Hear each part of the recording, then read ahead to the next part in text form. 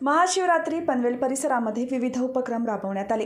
त्या अंतर्गत भाजपचे युवा नेते केदार भगत आणि मित्र परिवाराकडून पनवेल शहरातील रामेश्वर देवस्थान येथे खिचडी प्रसादाचे वाटप करण्यात आले. या प्रसादाचा सुमारे दोन ते अडीच हजार भाविकांनी आस्वाद घेतला.